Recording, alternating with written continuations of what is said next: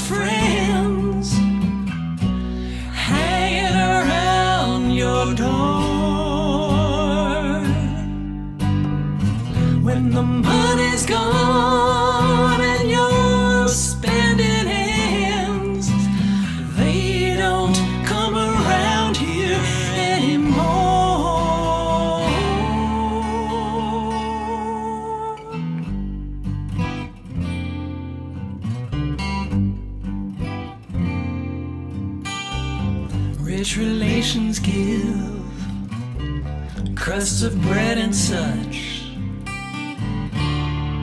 You can help yourself, but don't take too much.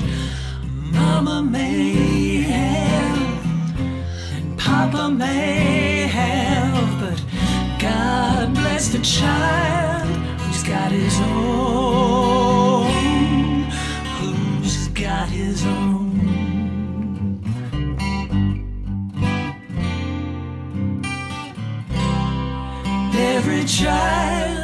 got to have his own.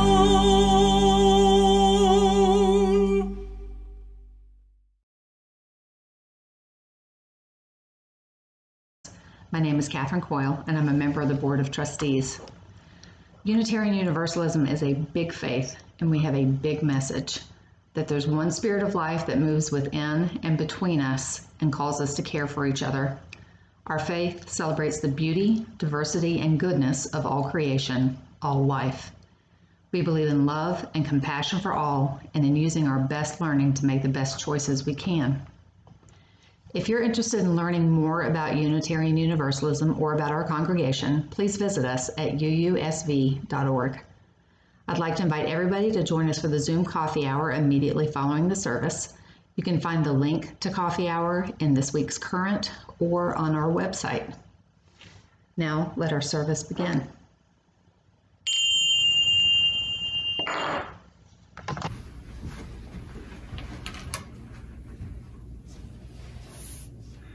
Good morning, friends. I'm Lee Redding. I'm a member of the Sunday Service Associates. Our committee uh, recruits uh, and works with our guest speakers. Today, we are delighted to welcome back as our guest speakers Christine Stay and Aidan Quinn. They will help us observe the birthday of Martin Luther King Jr. Um, Christine and Aidan are known professionally as Friction Farm. I invite you to visit their website. Um, they perform original music full of harmony, humor, and hope. You are invited to sit back in the comfort and safety of your own home this morning and enjoy their service and song. Welcome, Friction Farm. Good morning. This morning's chalice lighting words are from the Reverend Dr. Martin Luther King Jr. In some not too distant tomorrow, the radiant stars of love and brotherhood will shine over our great nation with all their scintillating beauty.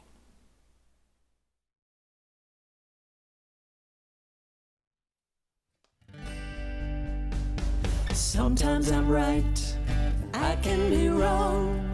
My own beliefs are in my song.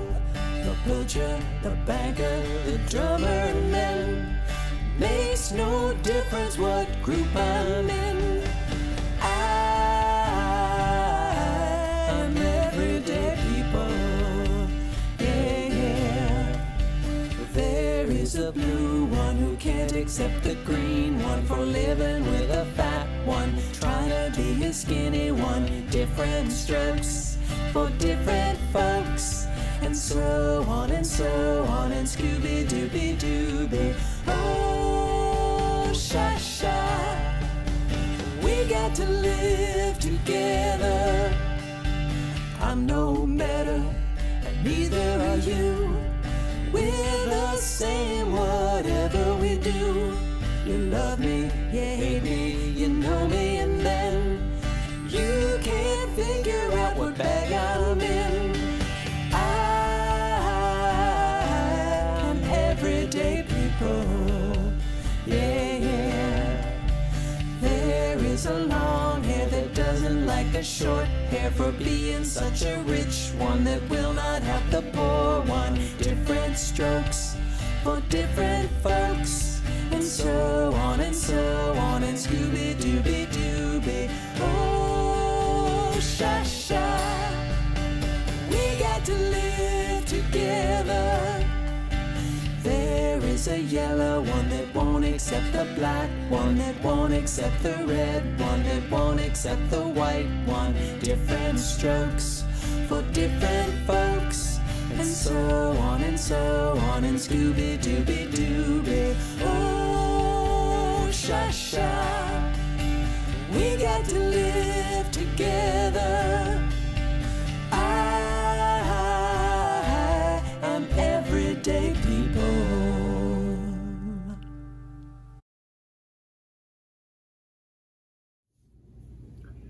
Now is the time in our service when you are invited to share your hopes and joys as well as your concerns and sorrows as we roll into a new year.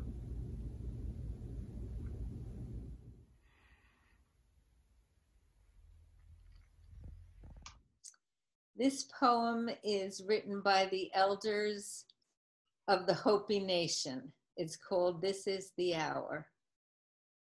We have been telling the people that this is the 11th hour. Now you must go back and tell the people this is the hour. And there are things to be considered. Where are you living? What are you doing? What are your relationships? Are you in right relation? Where is your water? Where is your garden? It is time to speak your truth, create your community, be good to each other. And do not look outside yourself for the leader. This could be the time. There is a river flowing now very fast. It is so great and swift that there are those who will be afraid. They will try to hold on to the shore. They will feel that they are being torn apart and they will suffer greatly. The elders say we must let go of the shore and push off and jump into the middle of the river. Keep our eyes open and our heads above water. See who is there with you and celebrate. At this time in history, we are to take nothing personally, least of all ourselves. For the moment that we do, our spiritual growth and journey comes to a halt.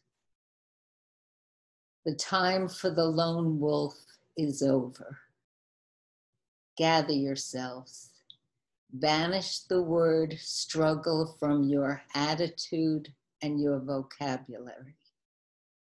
All that we do now must be done in a sacred manner and celebration. We are the ones we have been waiting for.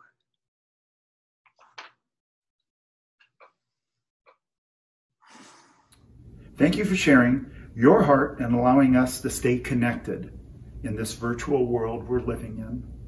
For everyone, please find comfort in knowing that we care for you and hold you up with our loving thoughts and prayers.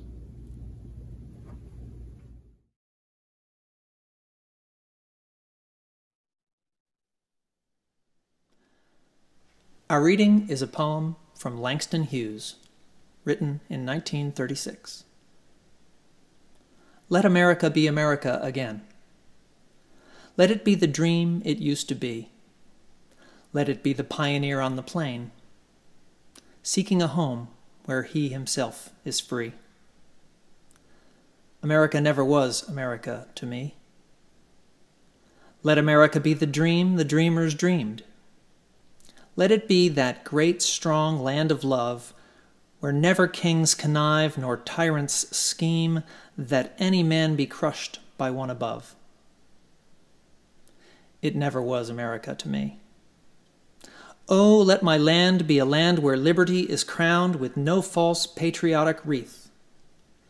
But opportunity is real, and life is free. Equality is in the air we breathe. There's never been equality for me, nor freedom in this homeland of the free.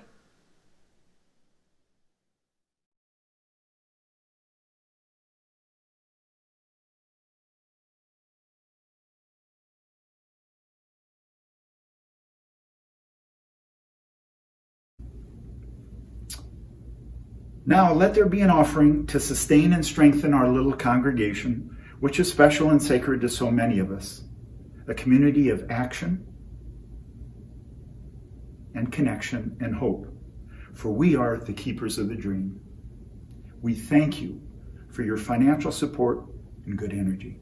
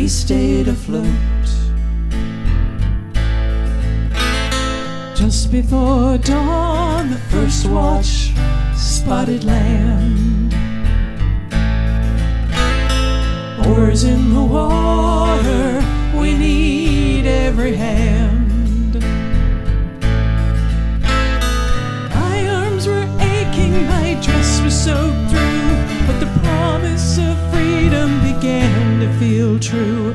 By luck or by providence, waves pushed us to sand.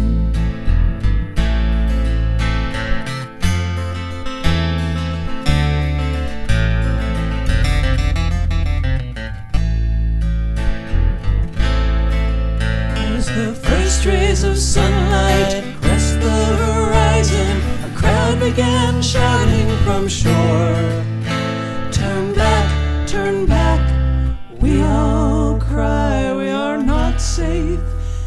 Anymore.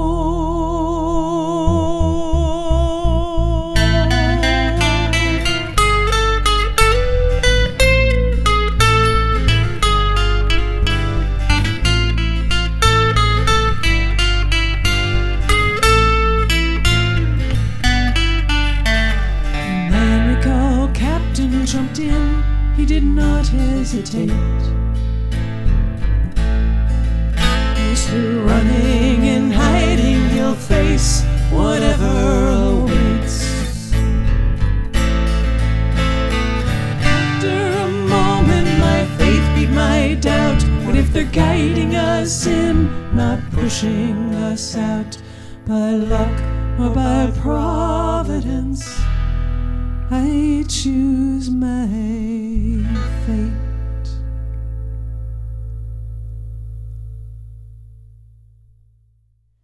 Yellow and blue make green. My dad is American. Born here to parents born here, raised here, an Army veteran. He's a true blue American. My mom is an immigrant from Japan. She's yellow. Yellow and blue make green.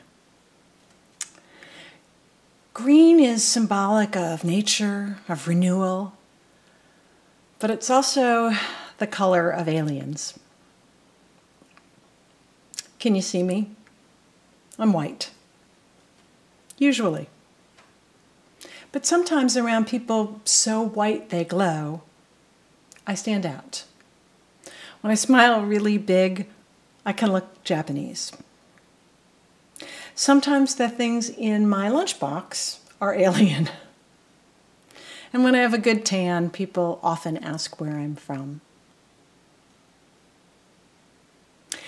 In the words of the great philosopher Kermit the Frog, it's not easy being green. Kermit says that being green, it seems you blend in with ordinary things. Well, there were many, many days when I wished I blended in. When I was four, we moved to Woodstock, New York. A man knocked on our door. He hesitated, looked me over for a second, and then asked if my mom was home.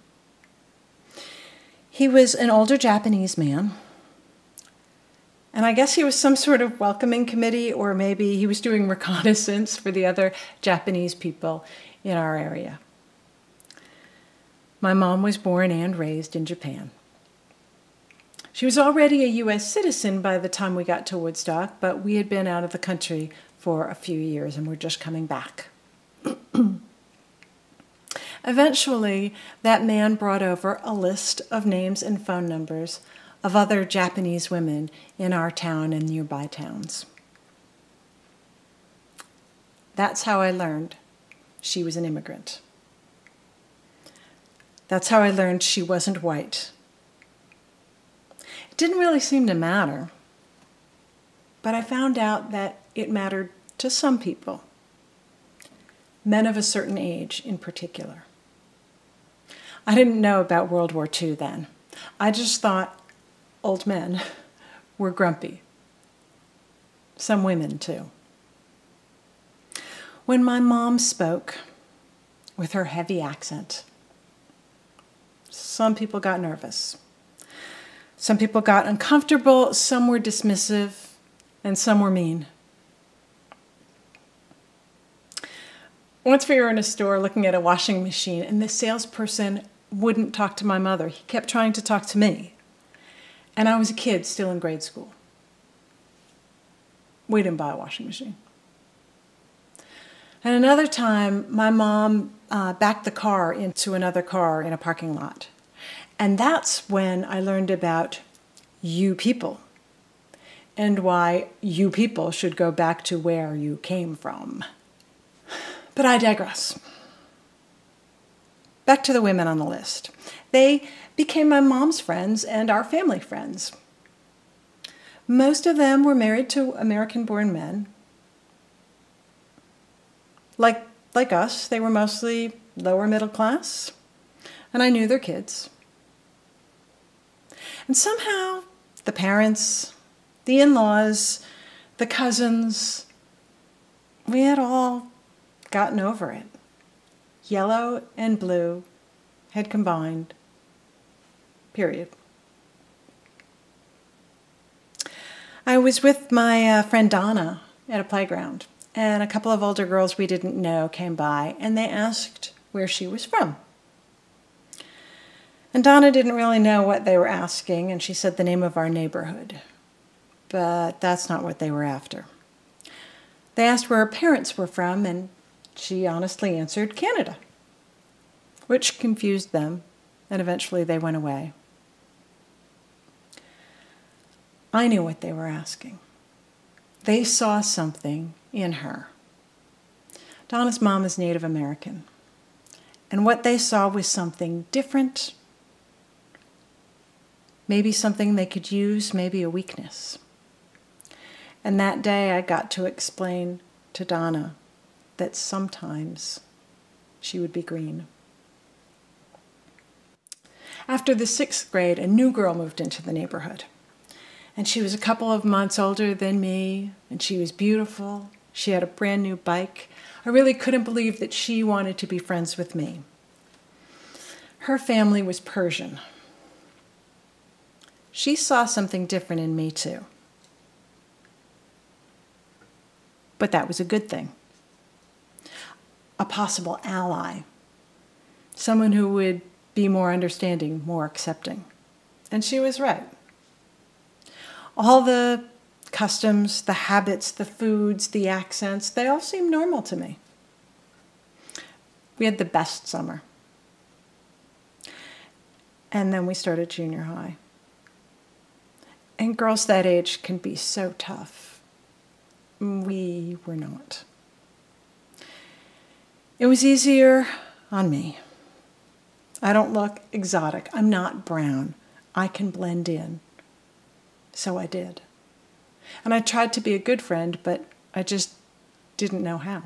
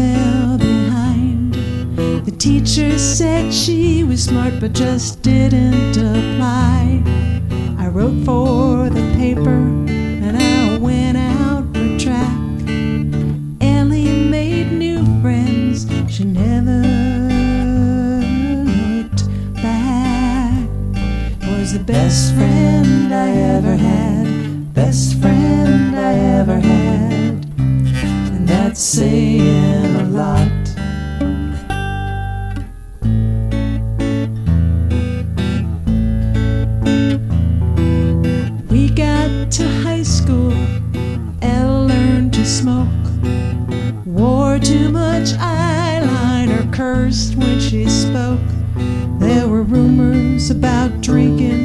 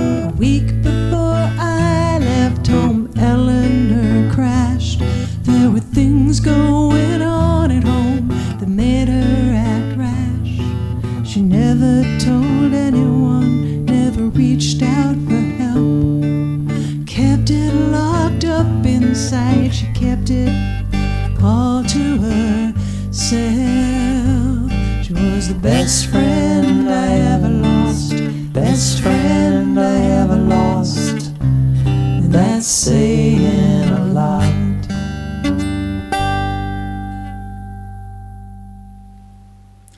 By high school, I felt very white until I took the PSAT and encountered the boxes. You know those boxes where you're supposed to check one? White, Hispanic, Asian, other. Which box? Could I fill in two? Would that be wrong? I didn't know, so I left it blank and I didn't talk about it. But by the time college applications came around, I was ready to talk about it. Which box? Can I fill in two? Was I betraying one race if I filled in one and not the other? My parents were pragmatic. Will either box get you more financial aid? No? Well, then who cares? And throughout my childhood, that's the way we dealt with it. Mom looks foreign, speaks with an accent, and assumes some people are prejudiced against her because of that. And my dad, he just kind of floats above it. They get on with their lives. And that seems kind of strong and noble, doesn't it? But it isn't. Racism changed their lives and how they lived their lives, but my parents didn't acknowledge that. And that affected me. And it affects you. James Baldwin said, Not everything that is faced can be changed, but nothing can be changed if it isn't faced. Despite my own firsthand experience, I didn't know how to be an adequate friend to a brown girl. I wanted to, but I didn't know what to do. I didn't even know how to check a damn box. I needed tools, words, actions, psychology, knowledge, history. I needed to know why people treated each other differently. That sometimes it was unintentional, but that was still wrong. I needed to understand the consequences of poverty, of oppression, of fear. I knew I shouldn't feel less than or other, but sometimes I still did feel that way. I knew that I should never treat anyone else as less than or other. And yet sometimes I did that, even though I knew how it felt. My mom, she just needed me to be white and American. And she still does. So remember those Japanese women that became my mom's friends? Well, they were mostly married to American born men, mostly white, mostly. And they were mostly lower middle class, like us. But one of the dads was Hispanic, and the kids were all brown. And my mom made it clear that somehow they were beneath us. She was kind and she was subtle, but the message was clear.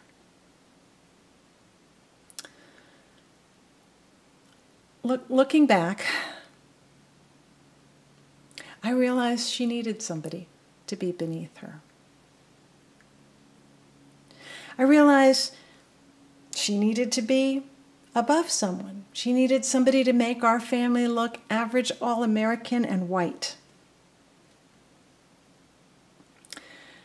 There's an entire industry, policy, hierarchy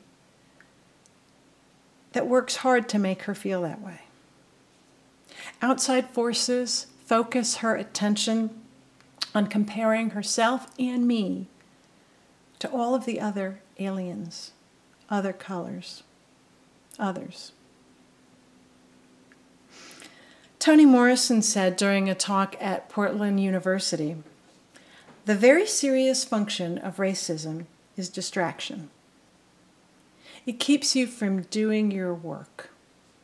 It keeps you explaining over and over your reason for being. There's a part of racism that is the opposite of what we usually think it is. It, it's not about our feelings towards someone else, whether tied to their color or ethnicity or not.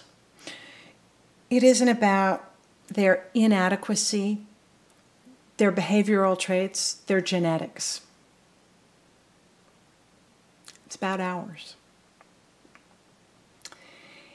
It's about inventing a new rung on the ladder so that you're not at the bottom. Because there isn't any other way up. We, we create another layer a layer of hierarchy over someone who is newer to the country or less white because we have no other way up. And there's a system in place that fosters all of those feelings of inadequacy and desperation and marries them to fear to produce racism and discrimination. It's a system of abuse, and we pass along that discrimination just like children of abuse. The Reverend Dr. Martin Luther King Jr. said, We must rapidly begin to shift from a thing oriented society to a person centered society. When machines and computers, profit motives, and property rights are considered more important than people, then the giant triplets of racism, materialism, and militarism are incapable of being conquered. I share my family stories with you, not to blame my mom or myself or anyone who finds themselves on the bottom rung. Mom didn't have the tools of change. So she passed along not an overt racial bias, but rather an acceptance of a system that is racist the system that requires her to prove her worth in provenance or wealth, while simultaneously making sure she can never attain those. And despite experiencing and witnessing the pain of that system, I still embraced what she passed down. But what I learned from being green is that it's easier to pretend to be white instead of green. So imagine how easy it is if you don't have to pretend and if you think that your whiteness is all the value you have. To break that cycle, we don't start by changing how we see others. We start by changing how we see ourselves. And that's really, really hard.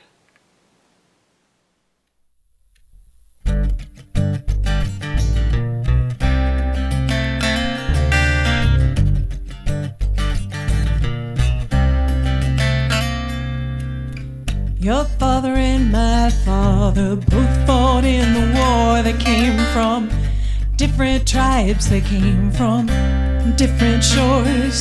They believed in God and country, family and pride.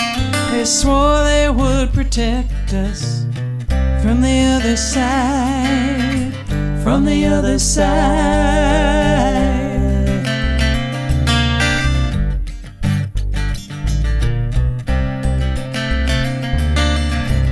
Your father and my father had stories they could tell about the burden of a soldier to survive a living hell After what they've seen and what they've done, they both feel justified to swear they will protect us from the other side.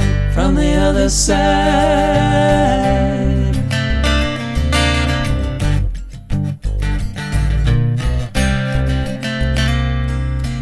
Generation to generation, we're told how it was when fear found evil in good and decent men. We are living in a world of wealth and wisdom, wonders without end. If we can't make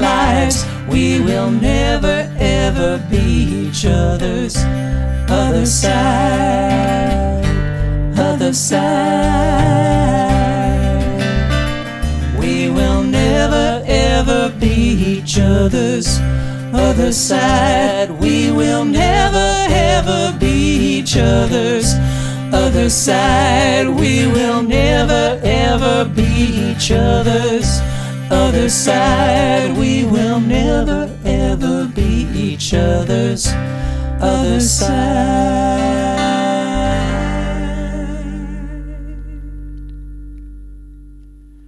So last week, Georgia elected its first black senator and its first Jewish senator.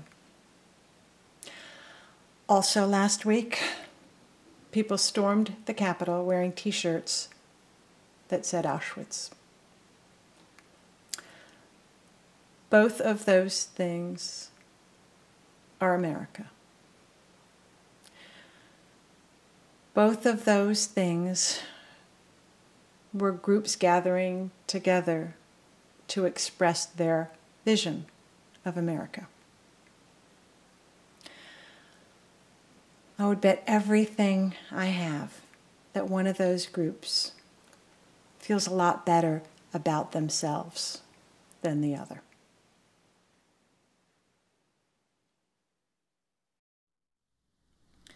We extinguish our chalice and count on you to carry the flame of love with you and out into the world.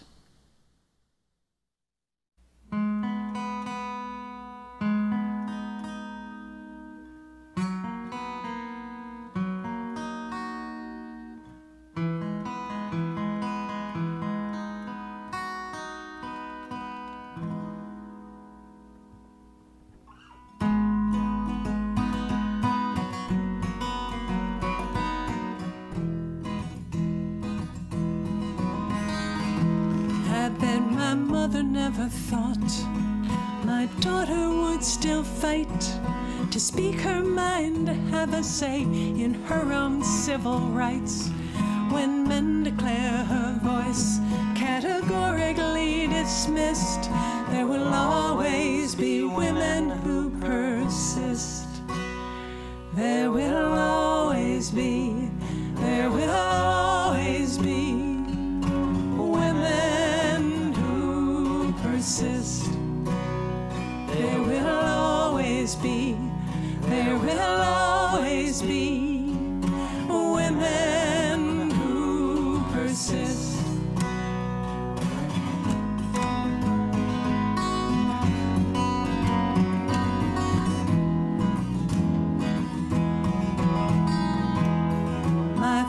forefathers came by ship together with their clan. Architects of their own dreams was this part of the plan. For for every thug who guards the gate with a raised, clenched fist. There will always be men who coexist. There will